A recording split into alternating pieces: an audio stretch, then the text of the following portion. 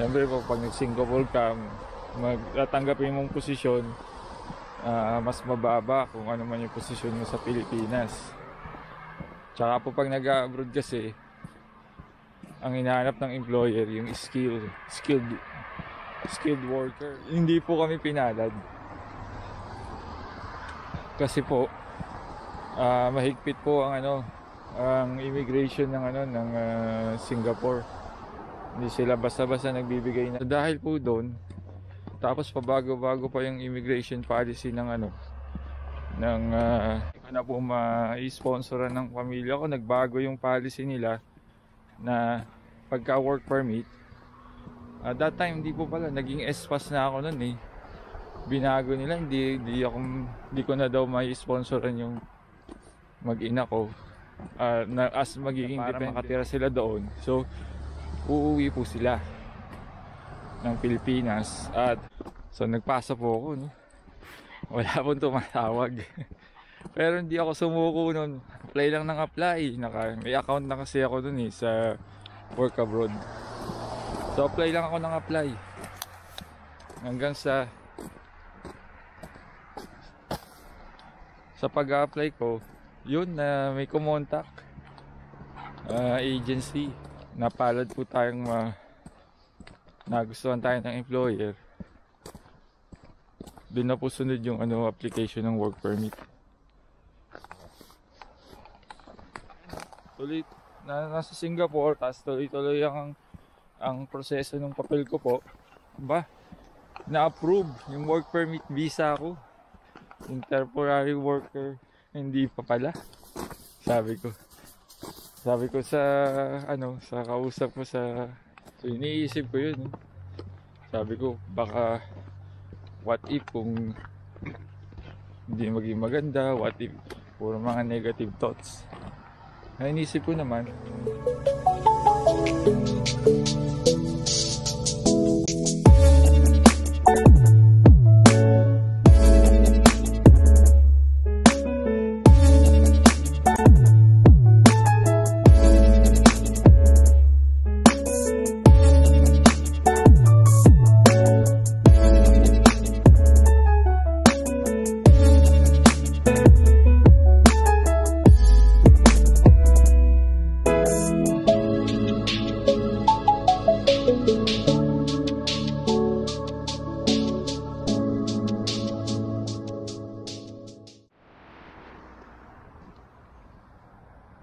Kasama na naman natin si Toby.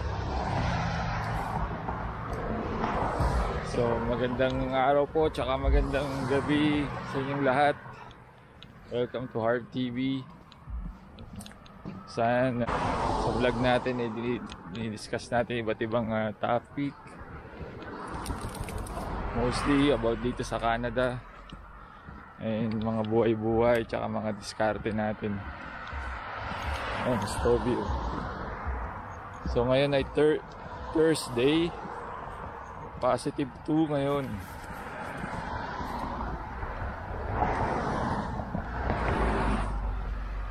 Lakad, lakad, lakad tayo dito ngayon. Sobrang ano pa niya, sobrang punong-puno ng energy. Ikot tayo. Oo. Kita nyo. Sobrang active na dog. Kaya dapat napagod.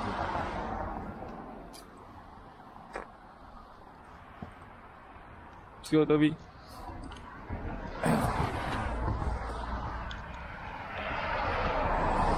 Medyo malamig pa rin po, no? Positive to pero malamig pa rin. Ito may mga yellow pa rin sa, ano, sa tabi. Pero malapit na mag-spring. Sa um, March 21, start na ng spring.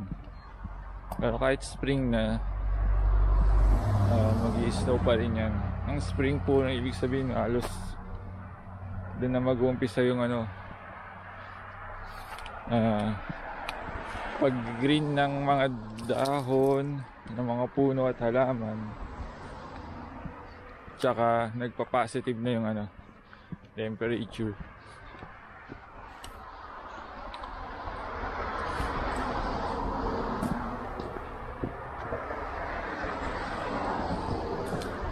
Ayan si Toby, amoy ng amoy. So ano siya no, 8 8 months old na siya bukas. Maliit na aso, small breed.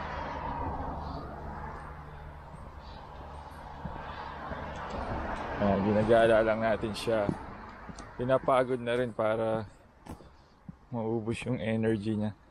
Pa natin ngayon kung worth it ba mag-Canada. Halimbawa nasa may maganda na kayong negosyo sa Pilipinas. Kaya maganda yung posisyon nyo sa ibang bansa. Tapos naiisipan nyo mag magpunta dito sa Canada. Eh worth it nga ba kung kung lilipat po kayo dito? Pag-uusapan natin yan ngayon so bigyan ko po kayo ng example ano bali ako po ah nag Singapore muna ako bali uh, Siyempre po, pag nag-Singapore ka, magtatanggapin mong posisyon, uh, mas mababa kung ano man yung posisyon mo sa Pilipinas. Tsaka po pag nag-abroad kasi, ang hinahanap ng employer, yung skill, skilled, skilled worker, o yung skills mo. So sa sitwasyon ko po na sa quality po ko, na-hire po ako sa Singapore nung una, noong 2007 as a quality inspector. Tapos po mga after 5 years, na-promote po ako ng pagiging ano, uh, engineer. Quality engineer doon. Uh, ang ginawa ko po, uh, medyo matagal na rin sa Singapore nag-try po akong mag-apply ng permanent resident. Hindi po kami pinalad. Kasi po uh, mahigpit po ang ano ang immigration ng ano ng uh, Singapore. Hindi sila basta-basta nagbibigay ng PR sa uh, mga foreign talents, sa mga foreigner.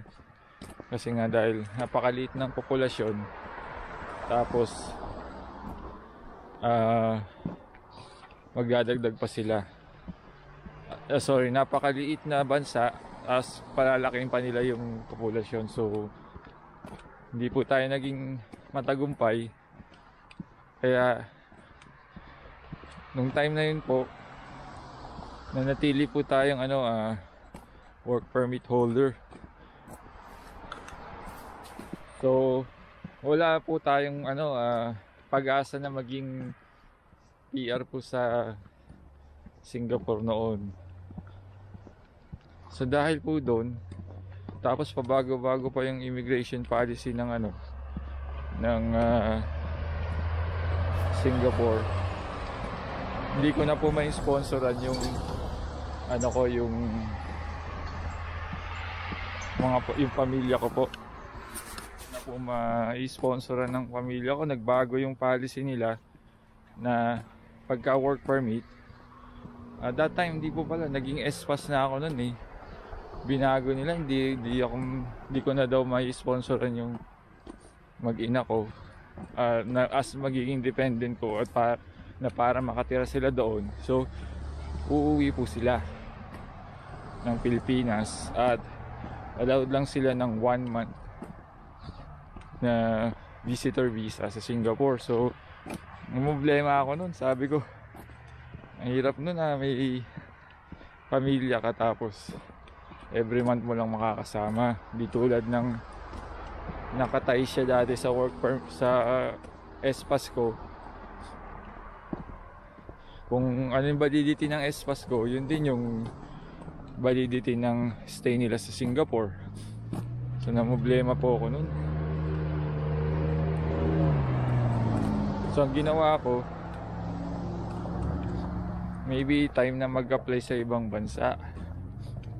May experience na naman ako ng uh, Singapore, mga ilang taon din yun.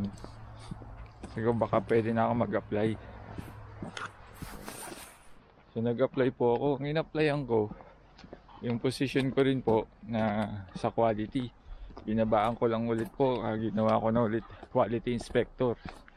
So nag-apply ako sa New Zealand, sa Australia, tapos sa yun nga po sa Canada.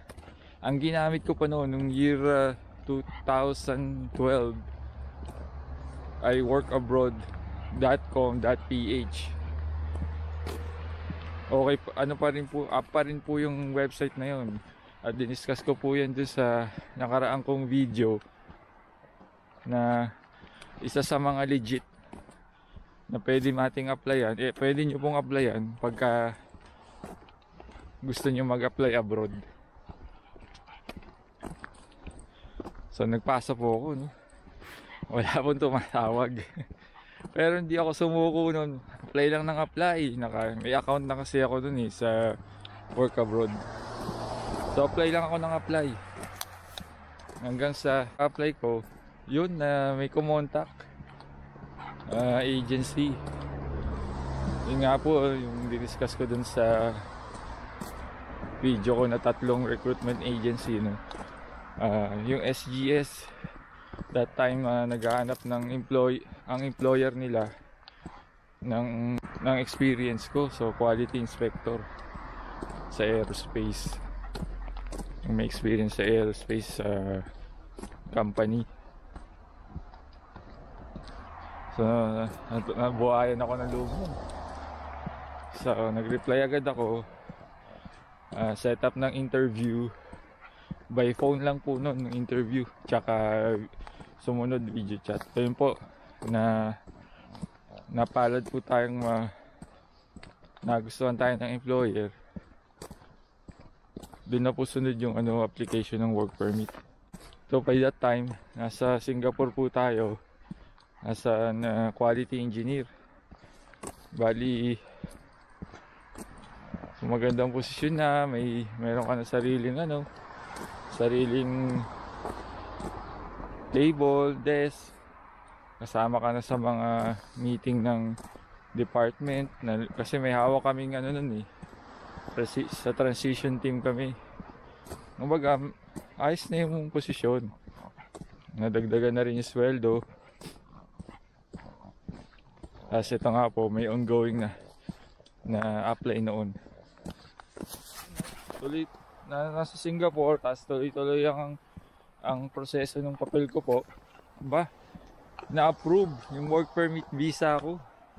Yung temporary worker uh, temporary foreign worker visa. It's sa Canada. So tuwan-tuwa po ako nun kasi ano baga may visa na ako dito sa sa Canada. Nung nung natanggap ko po yun uh, October nagpaalam ako sa sa employer ko rito na baka pwede January na lang kasi Ayan, Stovey naglalaro naglalaro sa snow mahiling maglaro yan sa snow eh.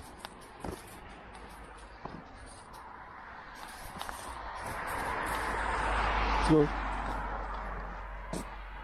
pwedeng December, ah, January na lang kasi ano eh, may, pag natapos mo yung taon namin doon sa Singapore, pinapasok akong aerospace company.